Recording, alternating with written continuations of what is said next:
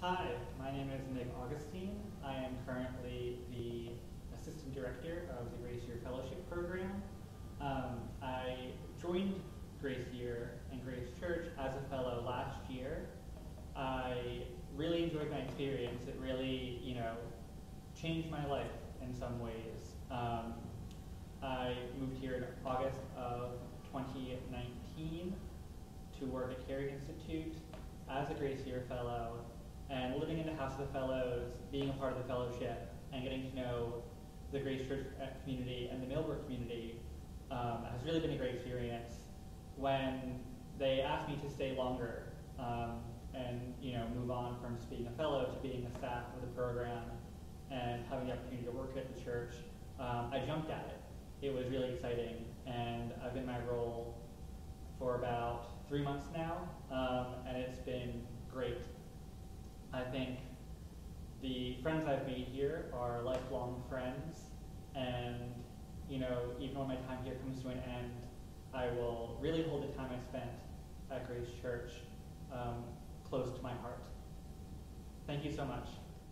Hi, Father Matt here. To follow up on what you've heard from some of the other speakers, from Nick and Marion, about who we are.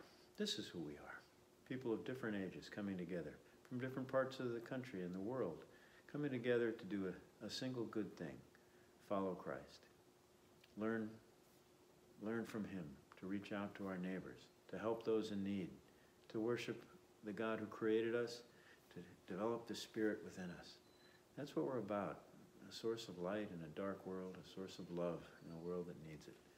So please join us, be part of this. Come online or in person to our services, help participate in our outreach opportunities, and join in our fellowship of community building. All ages are welcome. You've heard from Harry and Sarah and Jose in our EPIC program, and we want you to be part of this too.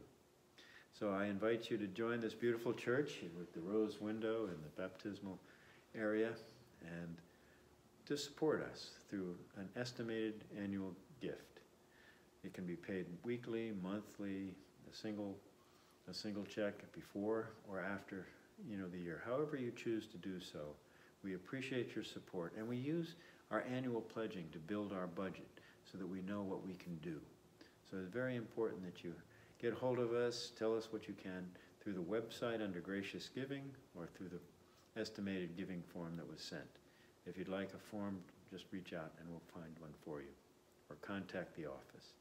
And I thank you. Thank you for supporting Grace Church, this wonderful part of the kingdom.